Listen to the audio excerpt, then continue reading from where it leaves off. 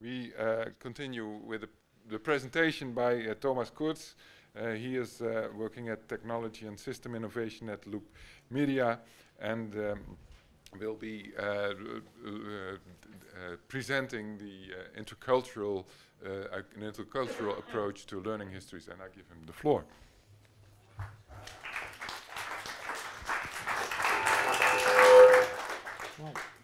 What was that? Okay. Thank you very much. From the Godfathers down to the beer game. so, uh, knowing that I'm from Austria, it's the, this picture of yesterday kind of makes sense. And also because, and you will recognize that during my talk, I am always interested in, in challenging the gods a little bit. So, but before I present my work on balance in motion, I want to thank again Rick and his team uh, you did a wonderful job, so thank you, danke, and shishe. yeah, I think that's applause. so, interpersonal communication is a driving force for intercultural corporate development between Austria and China. So, before I start with what I was working on there, I think it's important to understand where I'm coming from. And Actually, I'm coming from technology, so I studied telecommunications uh, and with a specialization in software engineering, and I was working more than 10 years in international research projects. And at a certain point in time, I thought, okay, I'm doing so much communication, it would be good to have some background knowledge. And I started the second study, and that's how I came to social science in a way, or communication science. Um, from a technology point of view and from a natural science point of view, uh, you recognize that people are looking to social science a little bit like, okay, yeah, they, I mean, it's not measurable, it's not real science, and you hear different different opinions on that. And um, when I when I started to investigate further into social science and so on, I recognized with systems theory and the different levels of cybernetics that uh, yes, you can't measure it, but you can't measure it because it gets much more complex. So if I drop this object to the floor, it's easy to, uh, to measure how long it takes, what's the impact on the floor, and so on. But if we have to do with people, then it's very complex because we have to do with like experience, with uh, neural networks, with the brain. And if we expand that to society, we have an even more complex game. And then we have history, with, which is a, a change in time, which makes it much more complex. So this complexity uh, is something I think which we need to acknowledge as social scientists and where we, and that was something where where I was always like a little bit like getting, hmm, yeah, um, there are no facts.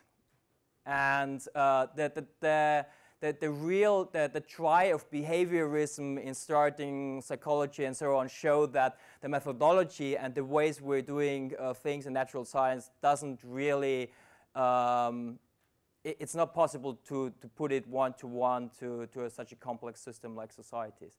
So I, I really like this quotation. Um, balance in motion, why Austria and China? Um, I was working more than 10 years in research projects, but I had no experience with China. And I had no connection with China.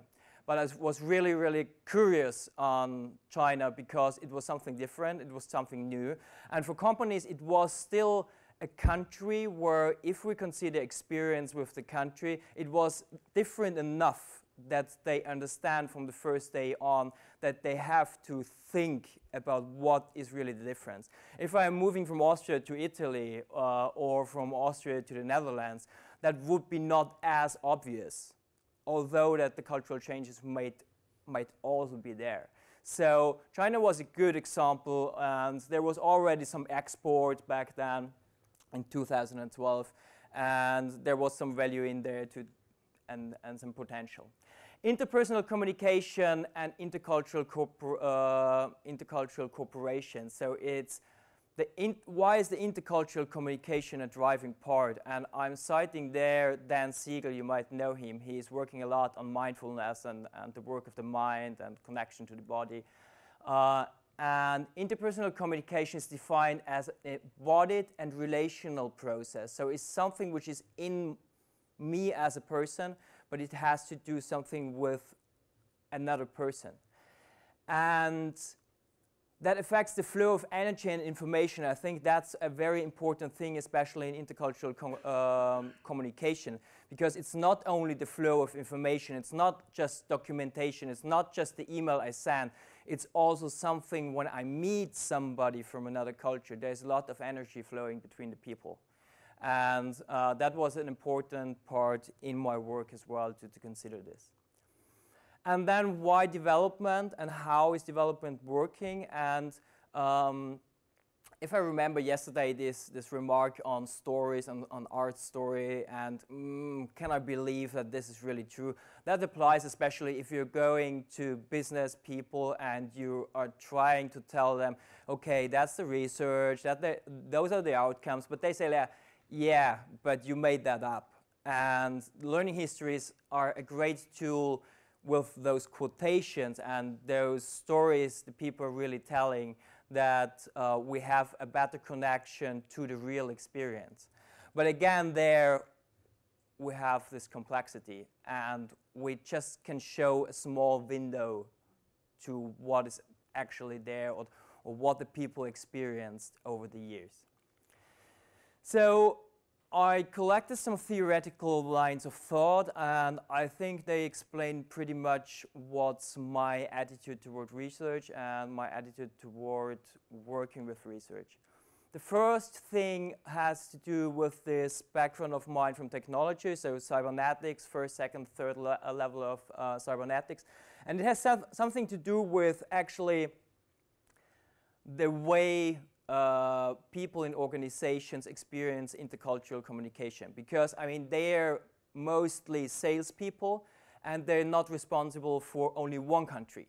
So they are going one day, they, they get a flight ticket to the US, on the next day to China, next day to Vietnam, and they don't have the time to dig into the culture, understand the culture, understand the people, because they have to deal with them every day in a different context.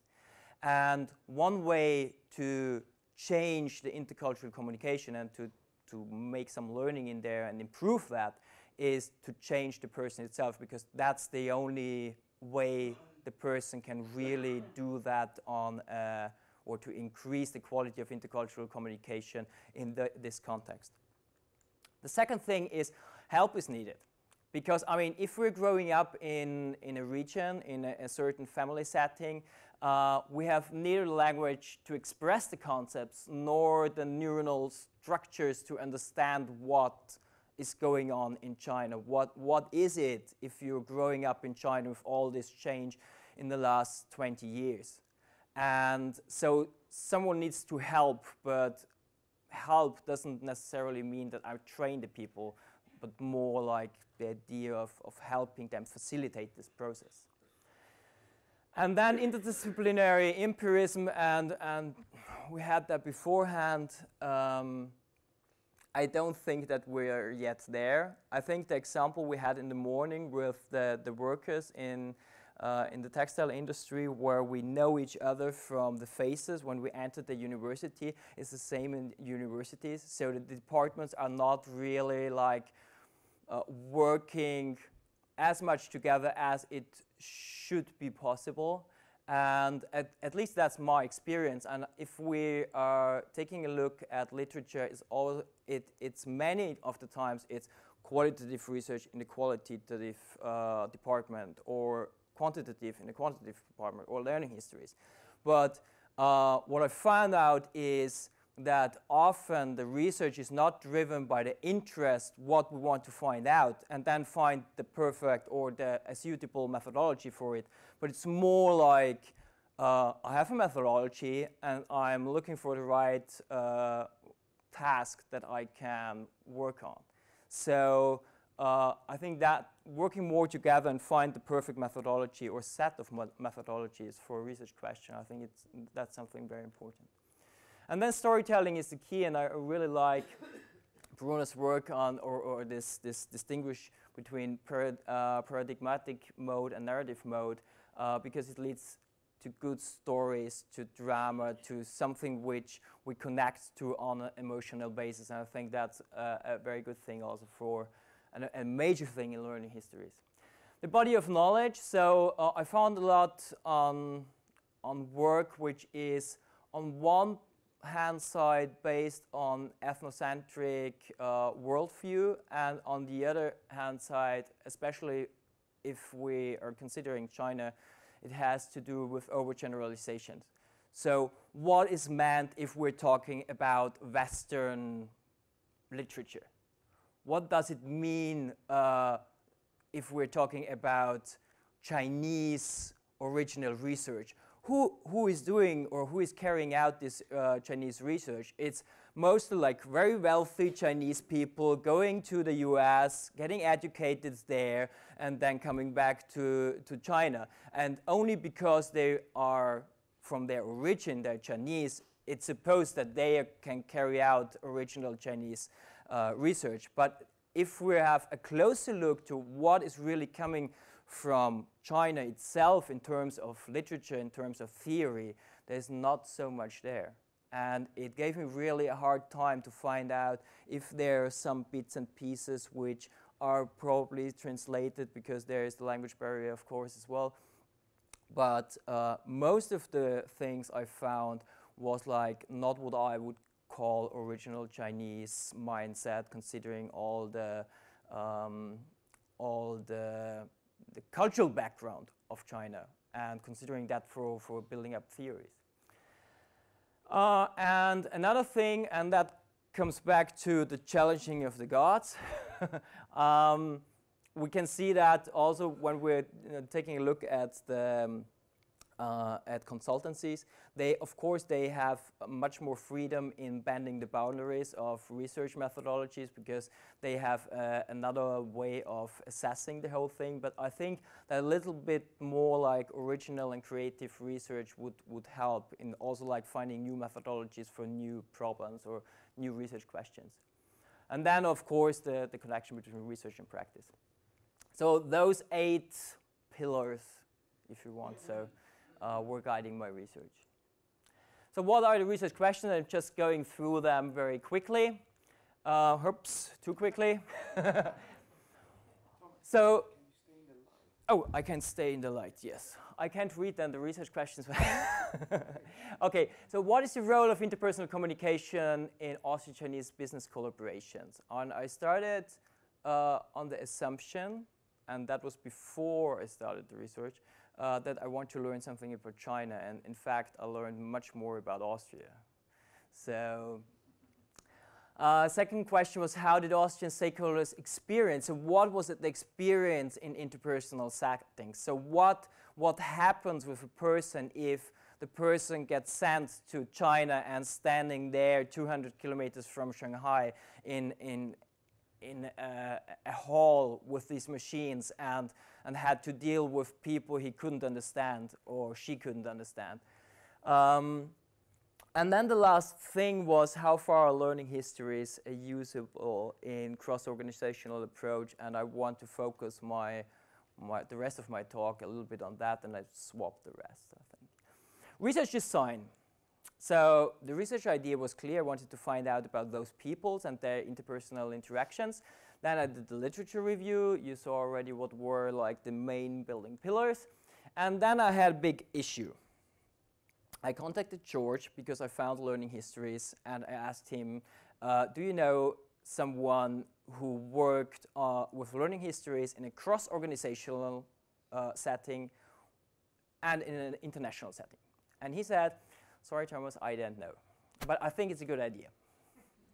So um, during my PhD, I was working full time.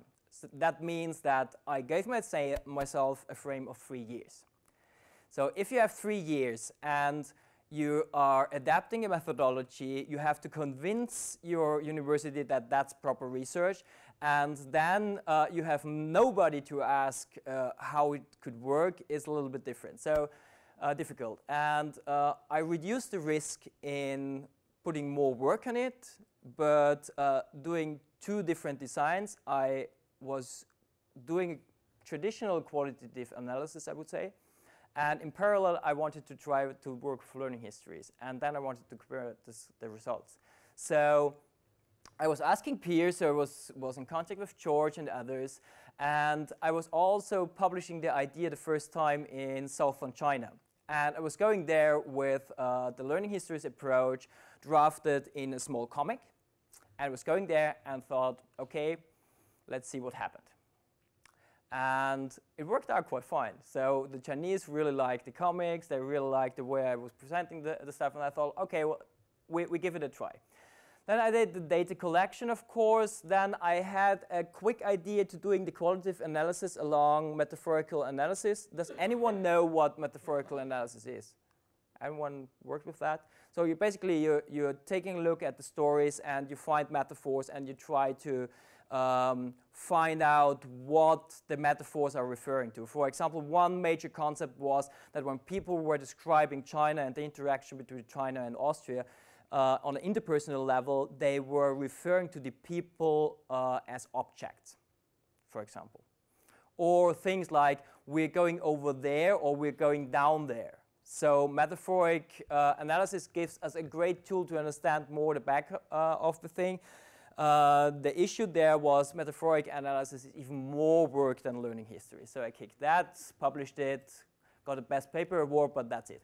So uh, the rest, of what I did was like having really this parallel thing. So qualitative analysis on the one hand side and intercultural learning histories on the other with the same empirical data. So I carried out interviews and I had one part where I had like more guided questions, or semi-structured uh, interview uh, technique, and on the other hand side, and that was of course the first part in order not to make them think on certain direction, I, I just asked them freely about their experience and their stories. Uh, interpretation, writing up, and then discussion and publishing. So that was like the small research design for the three years plan. So qualitative analysis. Um, it was 50 interviews, uh, a total of 712 years of experience, which means that uh, the average experience of the people I was talking to was 14 years with China. Which means if you carry out 50 interviews, it's not like you're going into one organization having five interviews a day. It means that you go there, travel 300 kilometers, travel back for one interview, uh, which makes it a little bit difficult. But uh, in terms of experience, it was really it was thrilling to sit there with people who worked with China since the 80s or something. I was talking to one guy. He was the first stu uh, Austrian student in in China, and he was traveling by train to China. So it was really interesting. 501 statements, so small story statements, uh, which are analyzed, and yeah, basically that's a little bit of background data. Qualitative analysis, uh, I would rather go through that quickly so you can uh, take a look at the presentation afterwards because I want to concentrate more on the, on the learning histories part. So I, I asked the people what characterizes individual and corporate collaborations between Austria and China. I asked them what are the attributes you, you admire uh, on the Chinese side. So most of the interviews were with Austrian people. So 40 Austrian people, around 10 Chinese people. And that, and that, uh, that part is only concentrating on the 40, of course, because I have to, to narrow down the thing. Then, uh, if you could make a wish in your collaboration, what would you ask for for the interpersonal communication? So more open communication, but also better English skills, of course. Uh, then organization, what do organizations need if they want to work with Chinese? Uh, what do individuals need if they want to work with Chinese, and what do they need to know? because that was a, a very interesting thing as well. And then what are the information sources you get this information from? And uh, which of those sources caused your perceived personal change? So if you're considering a personal change over your experience, so what helped in this time uh, to find out, okay, what changed me as a person? all that together gives a beautiful landscape and we had like here the, the main topics, the, the, the stones that paved the way uh, of this experience. And coming back to the first question was the role of interpersonal communication also in Chinese business collaborations. Mainly it's really going back to understanding each other. So it's going back to that, that people have the biggest issue in understanding each other, to have proper translators, uh, to understand them on a, a, language level, and then to understand what are the values of the other people, to get engaged with, those people. And many of the people I, I, interviewed, they were really like sharing a lot of insights and, and stories, personal stories also, there were even stories I couldn't put into the publication because they were really, really personal. Maybe one, one small story because that, that was really astonishing for me. I, I will never forget, I was sitting in a Shanghai ca cafe with a Chinese person who was working like more than 15 years um, together with uh, foreign companies. And I was asking her after, after having a long conversation, I was asking her, okay, what, what are your dreams? So where do you see yourself in the future? Where, where do you want to go? And she was thinking and looking, and then she said, I don't have dreams. Strange for a person with the age of 35, right? And then I was digging a little bit deeper and I was asking her, is there something what you want to do in future? And, I, and she said, and that was really, it was mind blowing for me. Um, she said, me and my husband, we have the idea of going to Tibet for years. And, but my, my parents always say, it's very dangerous to go to Tibet, don't do that. And then she said, but I can go there. I mean, it's no problem. They, they wouldn't, they, they would let me go. It doesn't make it, it, it doesn't it's not a problem. And so I was asking her, okay, why didn't you go already? And then she was looking at me and she said, what if they're right? So you see, everything is possible already in China, but there's still like this, should I go out there or not? So, so they're struggling with, with the self. So, just a sh short story that I have told a story as well. um, intercultural learning history. So the second part was really concentrating on on that, and it was a little bit difficult because there was no literature on on this kind of research. So what did I do? If I would do a learning history in a company who is doing um, business with China, I would go to the CEO uh, and to other people and ask, what have you learned from your first project in China? So what are the lessons learned? What are the stories you can tell? Uh, I would go through the whole company. So I would interview all the different people down to like from, from management, coffee, uh, machine, talks, uh, all those things. I would go also to the suppliers and I take a look if the suppliers can tell me other stories. I go to the customers, which are probably then in China, and ask them. And then I'm sitting down and do the analysis of their whole thing and writing together the learning history.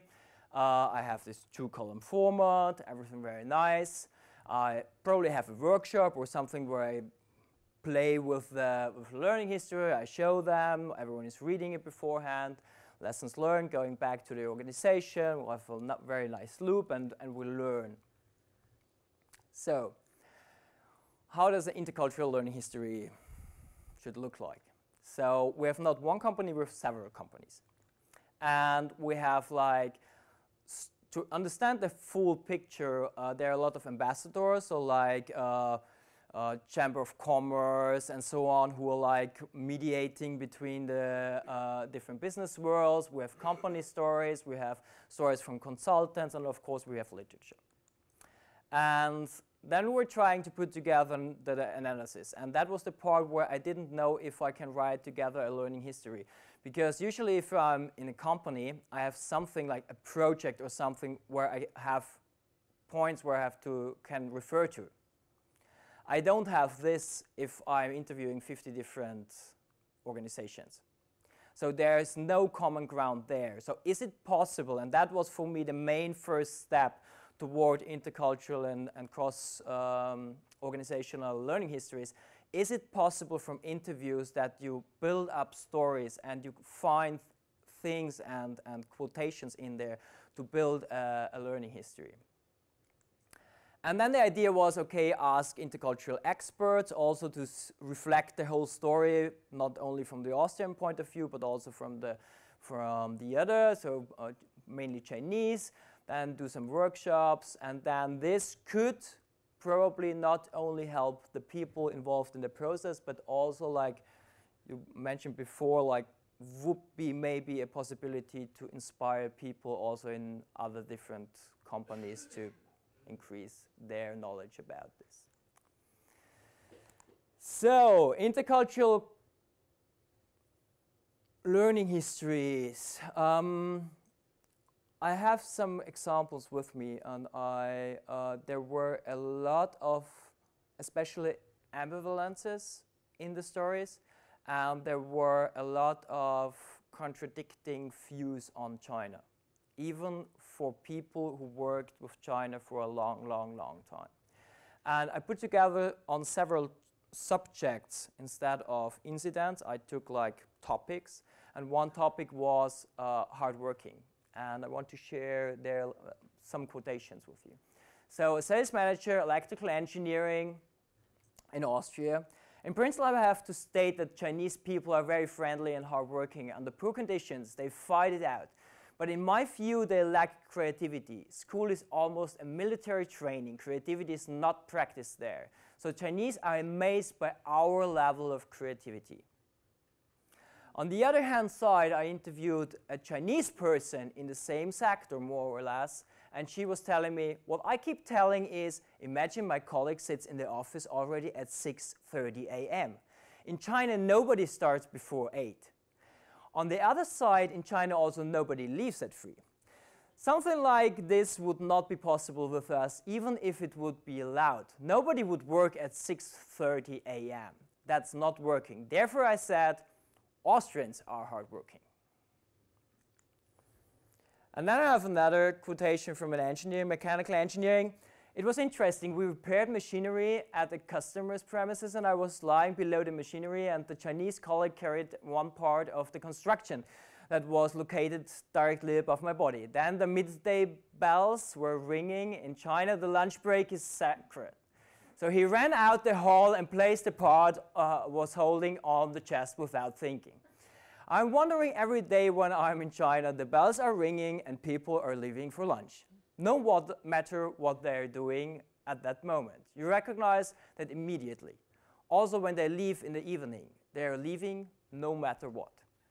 So the stories are contradicting each other. So it's not like they're uh, everyone in China, and I experienced the, the, same pattern for, for Japan, surprisingly, is that it, it's not uh, a one size fits all, but there are different aspects and uh, it was very, very interesting to see in different topic areas those contradicting and ambivalent um, stories and statements within the, the, the, results. So I had also the same, uh, so I had similar uh, learning histories with, uh, on the topic of extremes, on communication, on creativity, and um, to make a long story short, uh, it was really working well to find enough material in the interviews to cast those intercultural learning histories. So it was, for me, it was really surprising that although that the experience was totally different from different people, the topics were quite overlapping. And it was really interesting to see that. Uh, the last thing, probably, how, how much time do you have? A few minutes, okay.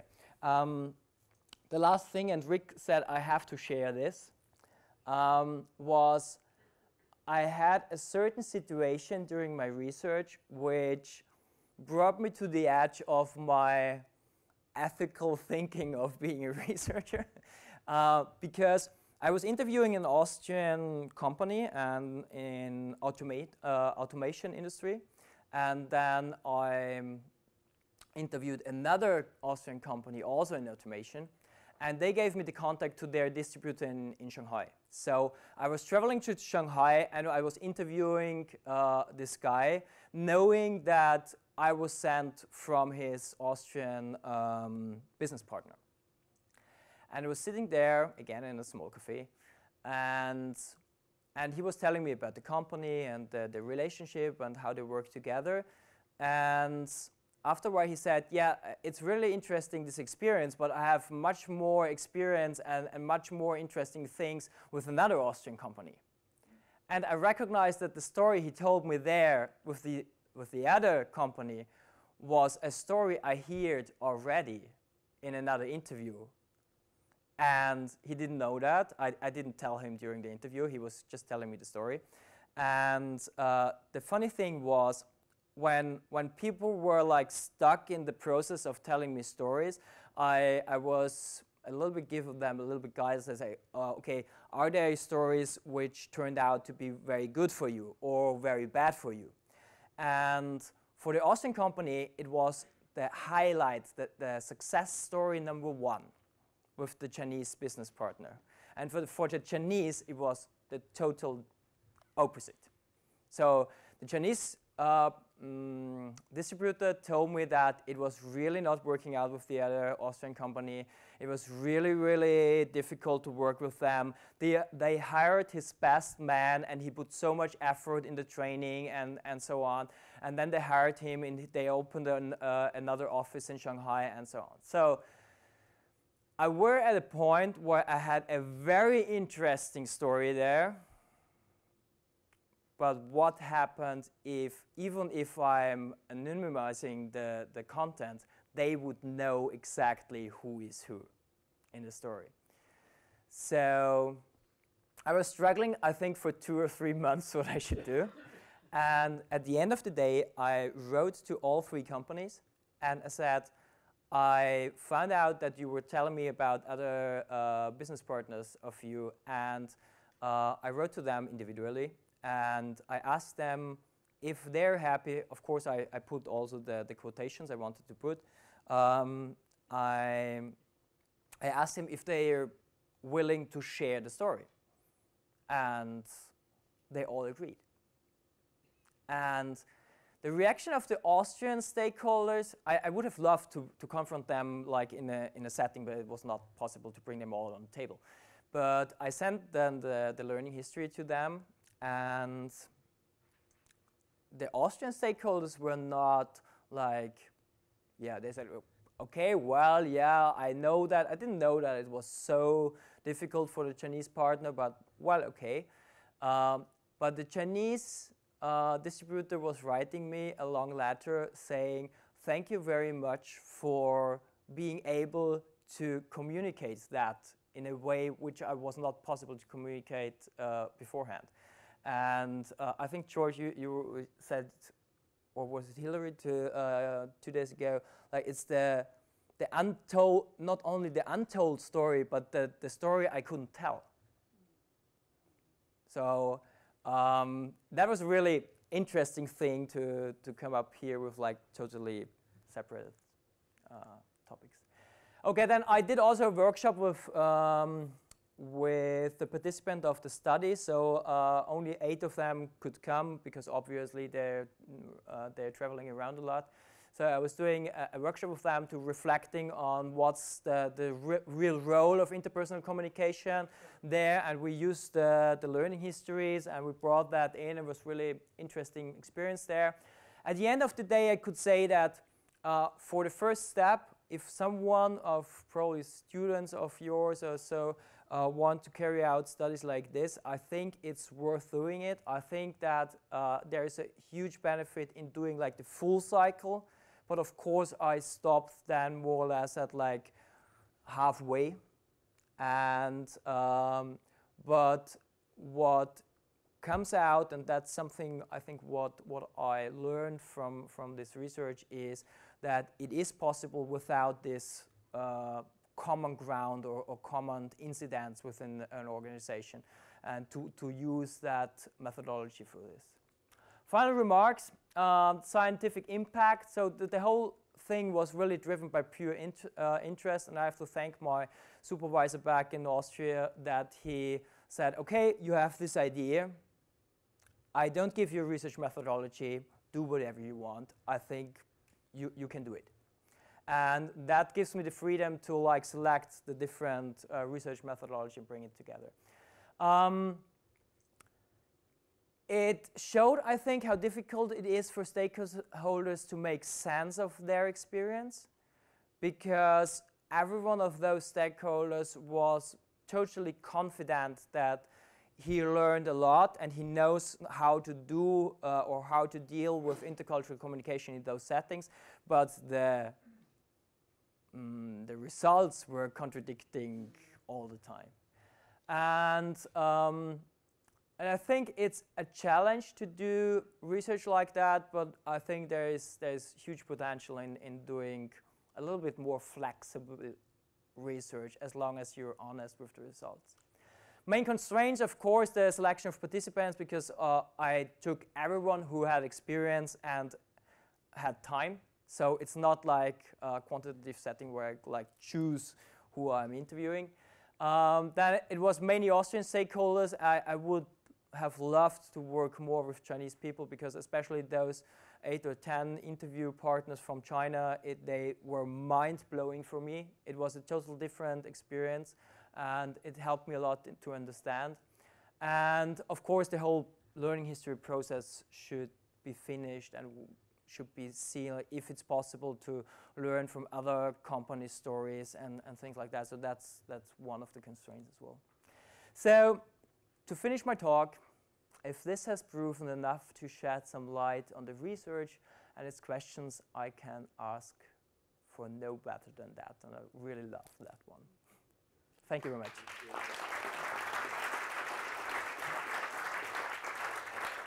Thank you very much. Thank you very much, Thomas, for sharing this this well this real new experience uh, with with all these new challenges and uh, for, well for your very candid way of presenting the way you uh, found your way in China or between Austria and China and in solidly implementing uh, a learning history. We have only a few minutes for questions. Uh, I have to uh, uh, point at the, the, panel discussion this afternoon. There will be plenty of time to go into a lot of questions, a lot of things. May I add something to that? Yeah. Because I have to leave earlier. Okay. So if someone, well, I, I, know that from other conferences that uh, you, you always think like, uh, I have to ask this question, then the people dis disappear. So I have to leave early, but I'm here for lunchtime. And if anyone wants to have the full thing, I can send it to you. It's it's no problem. Then you can read all the. But we'll take questions anyhow now. Sure. Short question. My name is Mark Koenders. Uh, thank you, Thomas, for your beautiful presentation and beautiful slides also. Eh? Thank you. Did you make the cartoons yourself? Uh, the cartoons were uh, made by a friend of mine. Okay. And he put everything in there. Okay. But, but, but your challenge, um, my question is about chrono chronology. Uh, the history has a certain chronology, and you somehow um, in your approach and in your uh, writing, we, search, we, we saw just, uh, just a few bits of it, but mm. how did you fix it? That, that missing of a chronology of, of, of, of events. Actually, that's it, it would help. It would have helped to have the chronology in there. The assumption where I started was that uh, and that, that's coming back to the question yesterday of using like written material versus uh, having interviews. Uh, our brain is very skillful in forgetting. and uh, I think that the, the stories which I can remember had the greatest impact on what um, on myself. So uh, I was asking them for stories that obviously had an impact on the people. Uh, for the learning history part, uh, as all these all these incidents took part within some were uh, older, but, but most of the stories were from a time span of 10 years maybe. Um, it was not possible to like nail it down to the time only because like for example if you're going to China and you go to Shanghai Shanghai is totally different to a place 200 kilometers from Shanghai because 200 kilometers you're total rural area no real good streets no infrastructure at all. So um, I didn't have really a problem to put that together, but of course it's one of the constraints that I put together pieces which are probably not at the same time or happened at the same time. Okay, thank you. Uh, well, if there are no urgent questions now, I would propose that we take a coffee break. It will be limited to 20 minutes, so we will here be here at uh, 11:35. So have a sip of coffee and please return to the seat. Thank, Thank you, you, very much, Thomas, Thank for you. your.